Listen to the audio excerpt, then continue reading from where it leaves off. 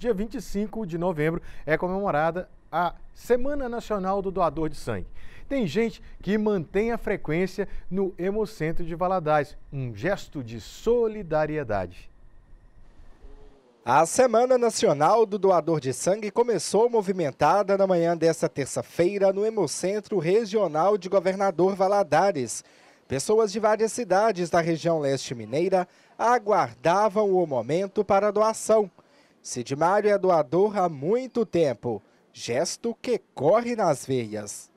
Quem tem condição de fazer isso, que faça, que vai ser muito importante. Às vezes assim a pessoa pensa no, no familiar dele que vai estar aqui precisando disso, mas ele tem que pensar nas outras pessoas. É, é, uma, é um ciclo que roda. Hoje pode ser minha família que necessita, mas e amanhã um outro. Então, assim, é, não ter essa mentalidade que é a questão do parente. A necessidade, a mentalidade é que todos necessitam e precisam. Então, que faça esse papel também, que é importante. E faz bem para a gente também que está fazendo essa função. Hoje, por exemplo, eu me sinto aqui feliz de estar tá podendo fazer esse, esse papel, contribuindo aí, ajuda de qualquer forma né, para alguma coisa. Este ano, a campanha que começou nesta segunda-feira e vai até o dia 25 deste mês, tem como tema Seja um doador fidelizado, doe sangue regularmente.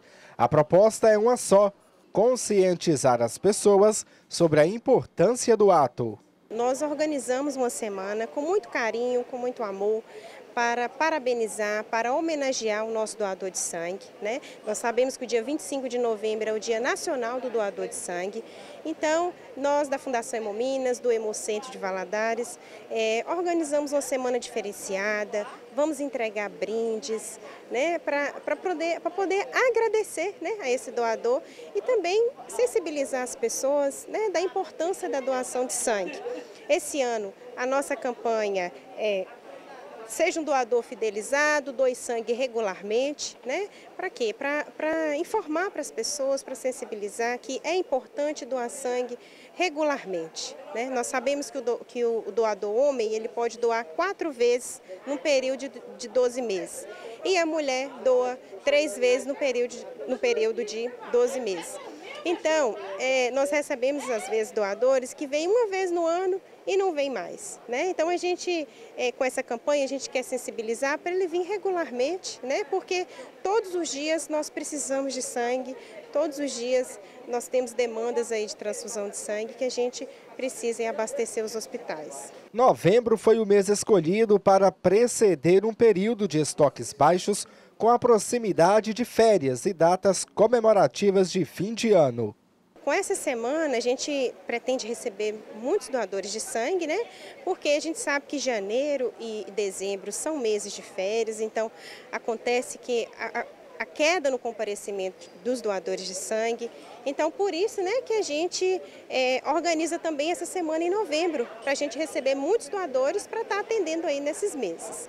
De acordo com o Ministério da Saúde, apenas 1,8% da população doa sangue de forma regular número bem abaixo dos 2% definidos pela Organização Pan-Americana de Saúde, mas bem distante dos 5% registrados em países europeus. E para doar sangue é preciso seguir alguns critérios.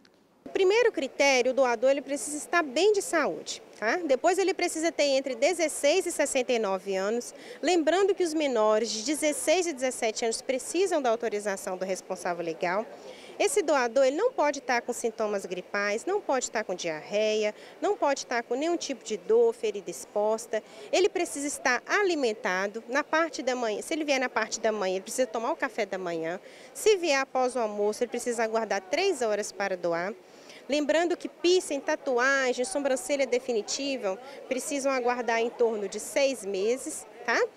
E é, é importante também o doador trazer o documento oficial com foto, que pode ser identidade ou a CNH, né? ou um documento de classe, né? que tenha, é, é, é, do conselho de classe, que tenha uma foto, tá?